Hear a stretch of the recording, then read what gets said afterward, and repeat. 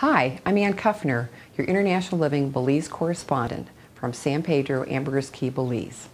I'd like to tell you a little bit about why so many expats are drawn to Belize. This small, stunningly beautiful country combines the best that the Caribbean and Central America have to offer.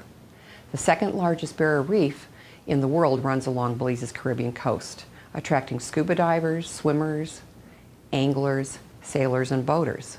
This is where Jacques Cousteau's famous blue hole is located. But you'll find more than irresistible keys. Surrounded by a clear aquamarine sea here, on the mainland you can canoe or swim in the meandering rivers, hike in the rainforest, or explore the ancient Mayan ruins.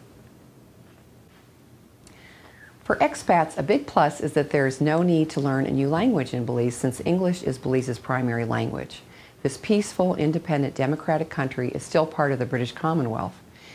And expats who move to Belize often tell me that the Belizean people they meet are warm, friendly, and welcoming. So they felt comfortable moving to Belize. Another plus is that it's easy for foreigners to retire in Belize. The QRP program provides benefits to retirees, but you qualify if you, if you are 45 or older, and expats are not taxed on their worldwide income or capital gains. And the property taxes are low, hardly ever over $300 a year. It's also easy for expats to buy and own property and to own a business. There are diverse regions in Belize that appeal to different expat lifestyles. For those who want to be near a water body and live on a budget, Corozal is a popular option. Many expats head directly for the Keys, Ambergris Caye and Caye Caulker, since they want to be as close as possible to the crystal clear, calm water inside the Barrier Reef and can afford a higher lifestyle budget. Those who prefer miles of wide sandy beaches head to Placencia or Hopkins.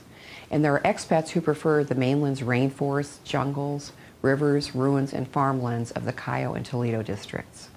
If this sounds intriguing, you can learn more about Belize's expat options and many more overseas communities in our daily postcard e-letter.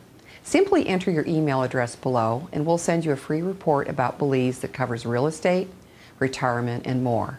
It's yours for free when you sign up for our postcards. I hope to see you in Belize in person one day very soon.